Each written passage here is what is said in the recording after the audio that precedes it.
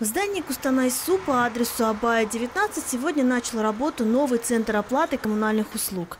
Жители областного центра теперь смогут заплатить здесь за потребление воды и тепла.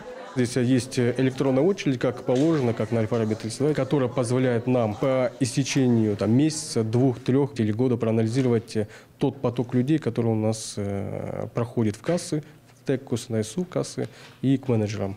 Ну, более того, позволяет проанализировать в среднем, за сколько проводится по времени обработка платежей со стороны наших сотрудников.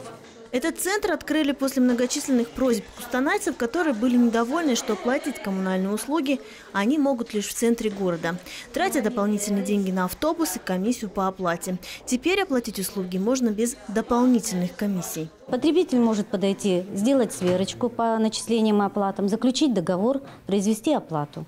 Наш специалист будет выполнять все эти функции. Здесь оплата может произойти без комиссии. Для удобства потребителей человеку будет удобно ближе найти приемный пункт платежей, чем ехать с другой стороны города. Это будет иметь эффект. В день два менеджера смогут обслуживать примерно 100 человек. Работать центр будет по будням с 8 утра до 5 вечера с перерывом на обед с 12 до 13 15 часов. По словам представителя Кустанай-Су, вход в центр в скором времени будет отдельный, но пока кустанайцы могут проходить через основной вход Кустанай-Су.